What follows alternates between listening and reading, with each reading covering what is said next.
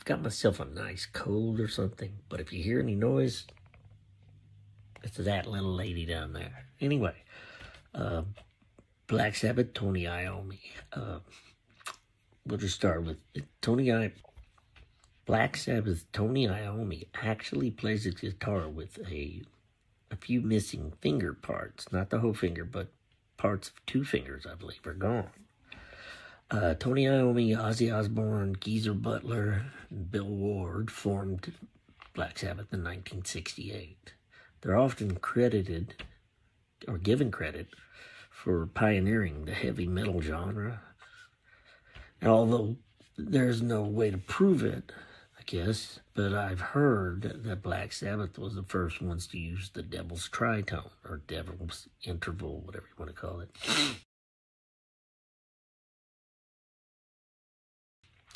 Iommi, sorry, Iommi has, he's collaborated, Tony Iommi has collaborated with quite a few artists. He's been with uh, Brian May, Glenn Hughes, Dave Grohl. I, I think he's pretty good friends with Brian May. So, anyway, Tony Iommi lost his fingers, uh, or tips of two fingers, in an industrial accident at a sheet metal factory where he worked.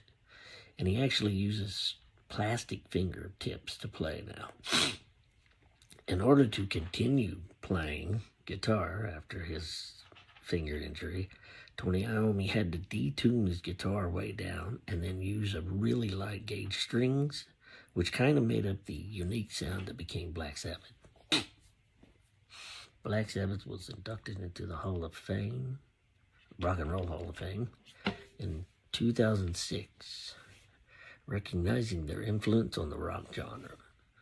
He's also involved in various charity charitable activities, including supporting cancer research. He has helped raise awareness and funds for cancer treatment and research, drawing from his own experience with the disease he's been through a lot and made it through a lot. oh, yeah, yeah, yeah. Tony Iommi's impact on the world of music, particularly in the realms of heavy metal, is a huge. It's huge, and his ability to stand in the face of adversity is truly inspiring.